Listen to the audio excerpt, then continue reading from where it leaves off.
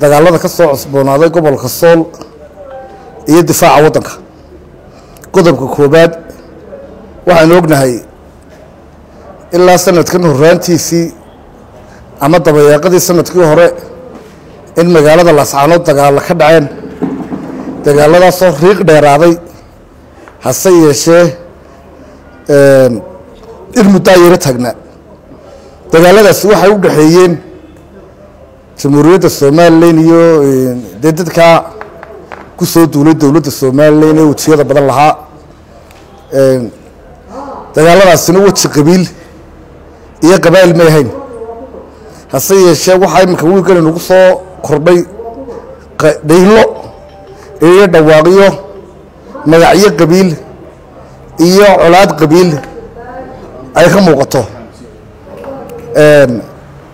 dagaalladu marka ay yihiin dagaallo maamullo u dhexeeya ama dagaallo siyaasi ah waxay leeyihiin ujeeddooyin la xaqiijin karo iyo bartilmaameed.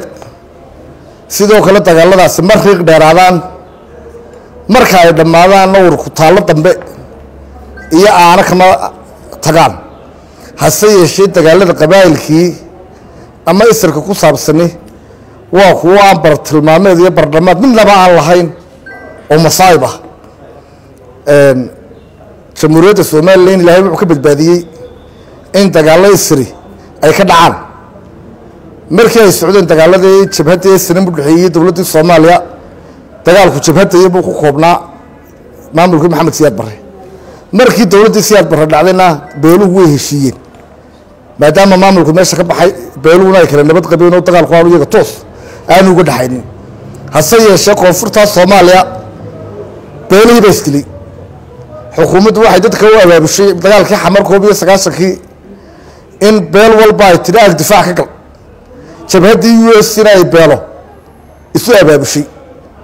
Halka ciidamada esanam iyo ciidamadii dowladda soomaaliya ay guutooyin magacyalo u abaabulaayeen taasi waxay timi in beelihii isku dhaceen in la isxasuuqay in la isku baaba'ay ilaa maantana waa sababta soomaaliya dowlad uga dhismi kari leedahay dadkuna aanu isu aaminsanayn hase yeeshee somalilan dagaalkii dee jabhaddiiyo dowlad buu u dhexeeyey dowladdii markii laga adkaadayna dee jabhaddii salamunbaa dadku isu wada dhiibay wax balaayana ma dhicinoo saasay somalilan ku badbaaday guusha labaad ee somalilan gaadhay ee nabadgelyadana waxaa u sabab ahaa in beelo hubkay dhigeen gacanta dowladdana geliyeen hubkuna sidiisaba wuxuu aamin yahay oo uu xafidan yahay markuu gacanta dowladda ku jiro. Hase yeeshee haddii beelaha hubku gacantooda galo dee meel laga kantaroolo iyo meel laga maamulo toolo ma leh.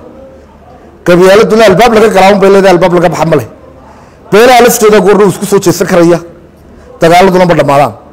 Haddii aan mawduucayga taariikheeyo kun iyo sagaal boqol iyo koob iyo tobankii xukuumadda ingiriiska ee waddankan tali jirta waxay go'aansatay in beelaha somalilan ee daraawiishta ka soo horjeeda ay hubayso si ay daraawiishta isaga difaacaan.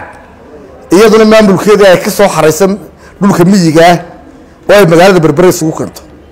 Hase yeeshee waxa dhacay waxaan laguma talagelin oo ah in beelihii hubka loo qaybiyey iyaga isku wada jesteen oo beel waliba gudaheedii iska dishay. Waxaa dhacay dagaalka la baxay xaara ma cunay.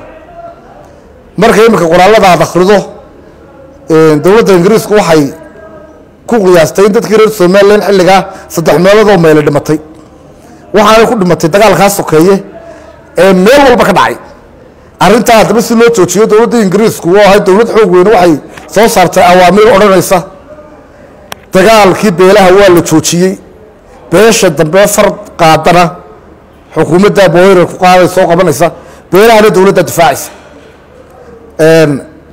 Beelihii dagaalka joojin waayey xilligaa dowladda ingiriiska qasab ku qabatay waxaa la ay xoolo lahaydna kala wareegtay.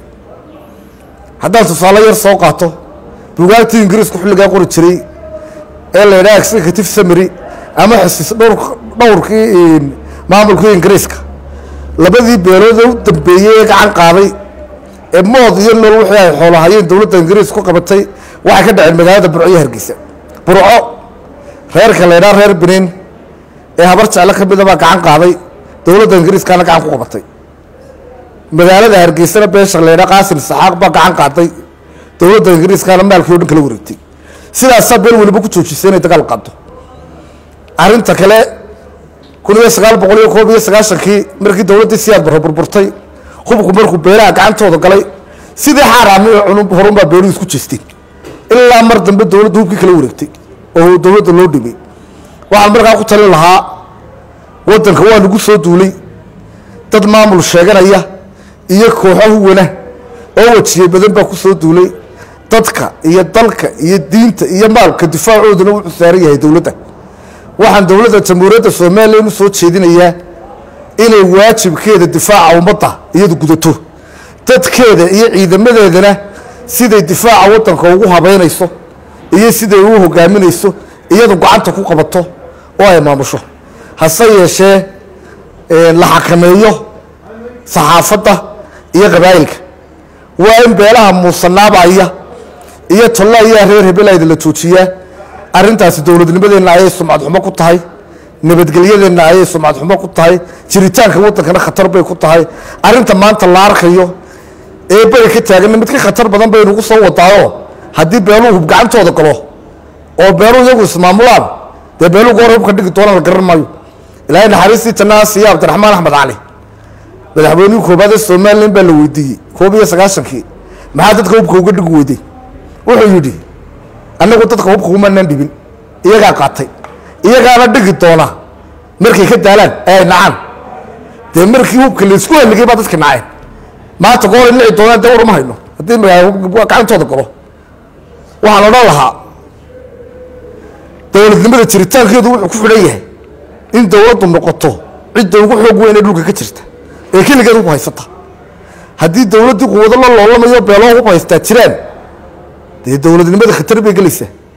Waxaynu ka dhareegsannahay sida dastuurkeenu dhigayo dhulka dowladdaani. Dhulkiibaa dadkii shacibkaa gacantooda galay. Ilaa maanta dadkii baynu dhulkii ka qaadi kari laana haddii hub gacantooda galo dee ka qaadi kari mayno. Waxaan odhan lahaa arrintaa beelahana ha la xakameeyo dadkana dowladda ha difaaco taasi waa